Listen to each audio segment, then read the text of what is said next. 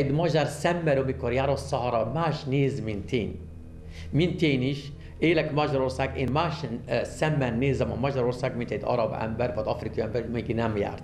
Szóval eh, többségük a magyarok, és megmondom úgy szintén, nagyon szeretik ezt a régiót.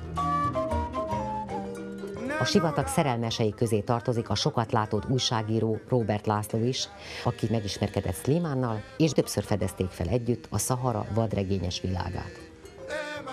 Ha én most én kérdezem magától, hogy a Szahara az egy sivatag? Szerintetek a Szahara az egy sivatag? Tudomásom szerint igen. Azt mondjuk rá, hogy sivatag. Szahra kifejezés az arabul sivatagot jelent. Inkább olyan sivatagos rész. Nagyon meleg van ott, kevés a víz. Nem, nem, de sivatag, de most ha így most így rákérdetem, most én nem tudom. De igen. Igen. Nem téged kérdeztelek, mert te már régen voltál ott. Az Észak-Afrikában elhelyezkedő két és fél millió éves Nagy-Szahara a világ legnagyobb sivataga, amely a tévhitel ellentétben kő és sivatag, nem homoktenger. A benne elhelyezkedő oázisok üdítő színfoltokként jelennek meg, ahol a legnagyobb kincsnek a víz számít. Mennyire maradt meg a sivatagi népekben a hagyományos élet? Tehát az autók nem tudják leváltani a tevéket? Nem, hát ez nyilvánvaló a világ egy kis falu lettünk. Most a globalizálódott a világ, az igazság. Szóval a, a, a sivatag sok terepjáról járnak, szóval modernizált lehet már telefonálni, internetre jutni. Most könnyebb lett a Szahara. Nagyon sok magyar ember például velem volt a Szaharában, Grand Szaharában, művészek, szuszjulók, meglepődtek, hogy milyen könnyebb lett a mai sivatag. A Szléman által működtetett alapítvány elmondata az emberért, a békéért, a kultúráért. Célja a magyar és afrikai szaharai népek kultúrájának kölcsönös megismertetése. Érdekes, de Szlimán szerint a mauritániaiak jobban ismerik Magyarországot, mint a magyarok a Szaharát.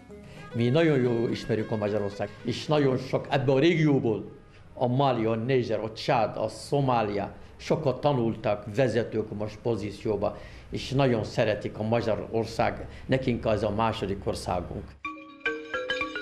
A szaharai kultúrával hazánkból is sokan foglalkoztak már.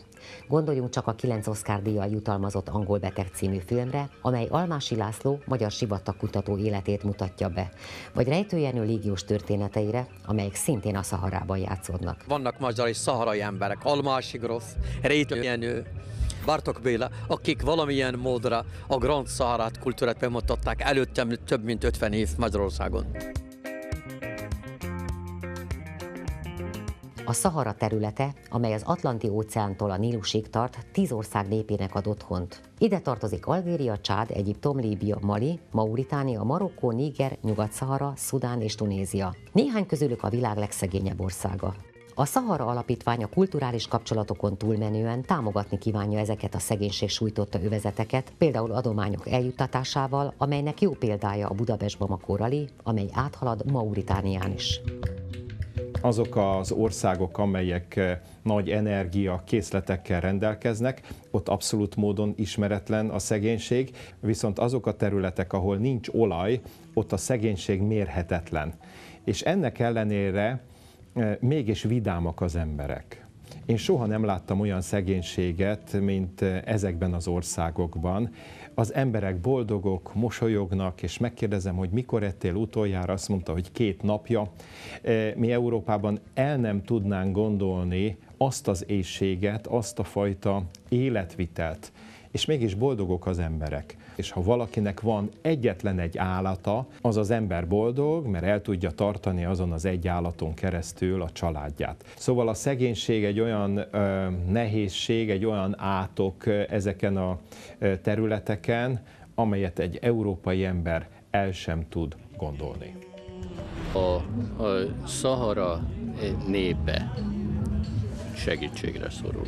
Segítségre szorul azért, mert szárad a sivatag, mert ö, mm, különféle konfliktusok nehezítik az életüket, és ezt a segítséget, ezt úgy kapják meg, hogyha nyilvánosságot kapnak, és a nyilvánosság az sokféle csatornán létezik. Na most az egyik csatorna az a képzőművészet.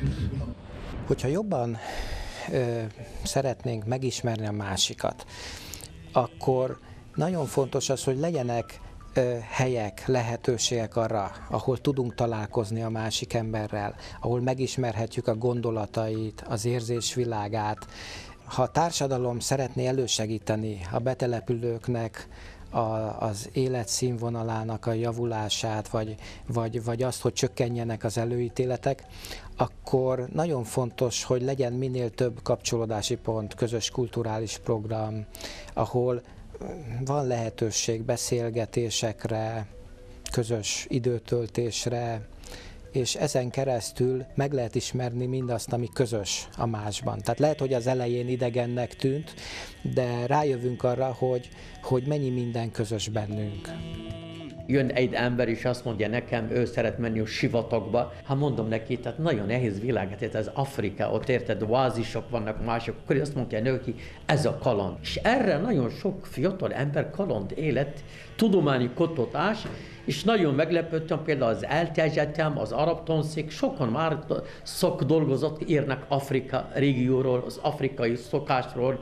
az afrikanista helyzetéről, szóval egy 70-80 ember hetenként járnak hozzánk.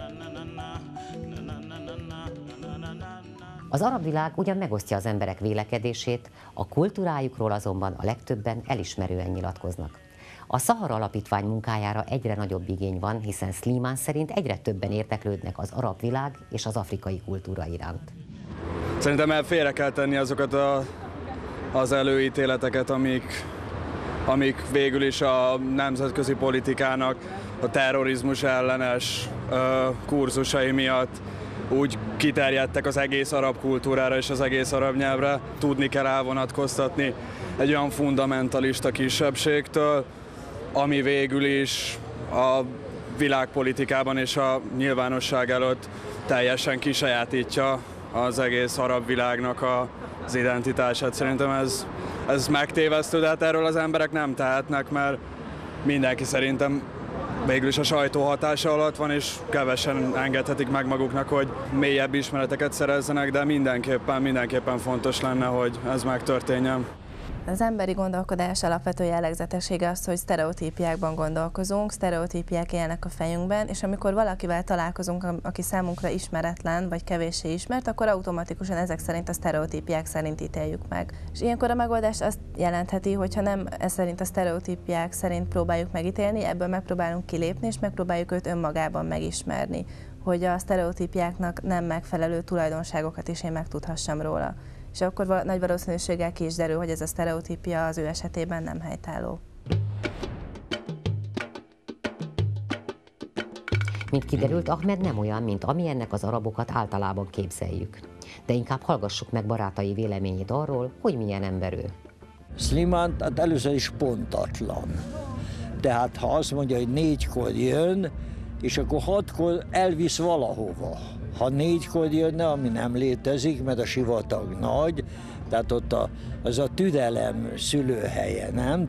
Ahmed egy tüneményes ember, egy varázsló, aki mindent tud, ami a sivataggal kapcsolatos, legsegítőkészebb, a legjobb barát. Az első perctől tulajdonképpen alkalmazkodott, tehát mindenben próbálta felvenni a magyar mentalitást, tehát mindenki nagyon szereti